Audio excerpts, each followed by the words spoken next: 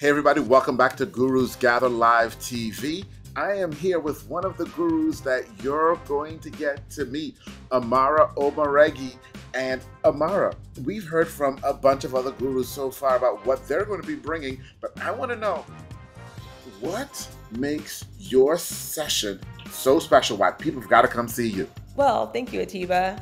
During my session, we're going to be talking a little bit more about operations side of marketing well, funnels are cool and all, sales are cool and all, marketing is great, but if you can't get the things done that you need to get done in order to launch your campaigns on time, get a lot of different people together that have to work on these teams and work on these campaigns together, it can be kind of a mess and it can even prohibit your ability to work efficiently with your marketing team. So we're going to talk about operations and how to operate more efficiently.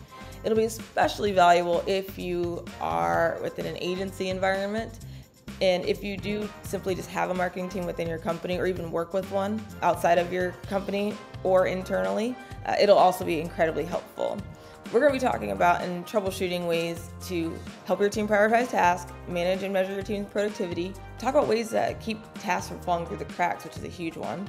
Get your team to use some sort of project management system consistently and the importance of that, and being able to look at the data and determine if you need more help, if you need to hire more people, if your team is actually being productive, how to manage your budgets and project timelines, how to understand your team's workload, intelligently plan for new projects, projects, gain a clear understanding of your resource availability, and so much more. So I'm really excited because well, there's a lot of conversation happening about marketing and tactical content. We're going to be talking about how to actually get things done, be productive, and be profitable while doing so.